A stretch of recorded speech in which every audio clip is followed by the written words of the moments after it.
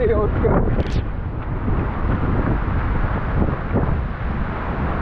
jaa.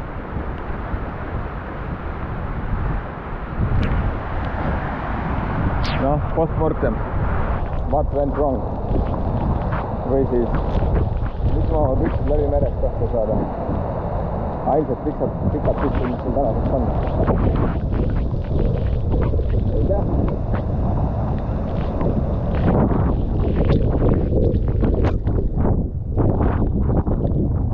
Aga sokid on kuivad vähemalt praegu.